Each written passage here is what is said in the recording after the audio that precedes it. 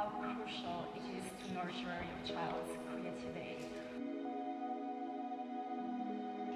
And a scientifically educated society is absolutely essential to solving the many challenges that we face now and that obviously we face in the future.